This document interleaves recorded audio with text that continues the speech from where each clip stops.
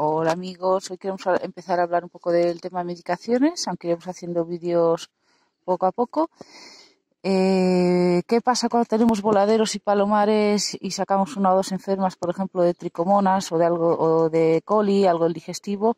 Pues en general, eh, cuando estamos tratando de un número de aves muy elevado y que pueda haber varias que están afectadas, podemos realizar un preventivo al resto de las aves que han quedado en el aviario en el agua. Para ello, en lugar de las medicinas habituales que usamos en la enfermería, tenemos los formatos para palomares, que son para disolver en el agua en general o en el alimento, em, eh, repartirlo, pero muy importante, que tienen un sabor y una composición tal que el, ave la va a beber y va a beber el agua adecuada que suele beber cada día, por tanto va a tomar la dosis que necesita para su peso.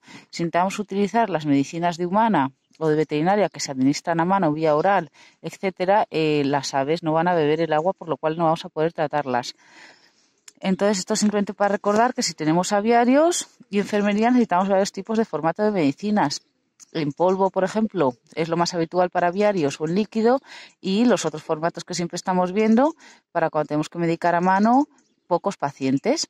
Entonces, bueno, esto lo van a tener tres días como preventivo porque ha habido dos juveniles con tricomonas el voladero de liberación que hemos hecho para no gastar tanto producto, porque cada producto a lo mejor vale 20 euros si se gasta rápido, pues retiramos todas las bañeras, ¿vale? Y solo dejamos el agua que van a necesitar con la medicación, pues para no desperdiciar también el agua de baño, que ya en cinco días, cuando pase el preventivo, lo volveremos a poner.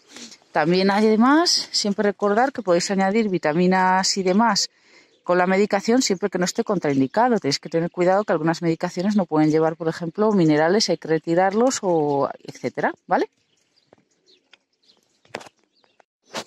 Entonces, como veis, tenéis formatos para respiratorio con doxiciclina, para coccidios, desparasitadores, Normalmente también venden muchos combinados 4-in-1, por ejemplo, tanto para el respiratorio como para el digestivo, más para el digestivo.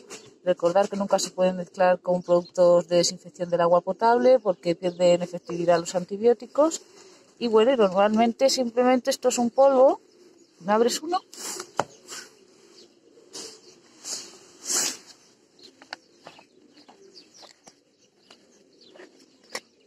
¿Eh? Vaya. Creo que había uno abierto por aquí. Sí, soy capaz. Es un polvo, te dicen cuántos gramos por litro, las cucharas suelen venir, pues por ejemplo estas de 5 gramos y así medicas a todo el palomar cuando haga falta. Nosotros la verdad es que lo usamos una o dos veces al año nada más, pero siempre tienes que tener este tipo de productos disponibles cuando, para cuando tengas que medicar a todo un aviario. Evidentemente no puedes ir capturando de uno en uno para medicarlos.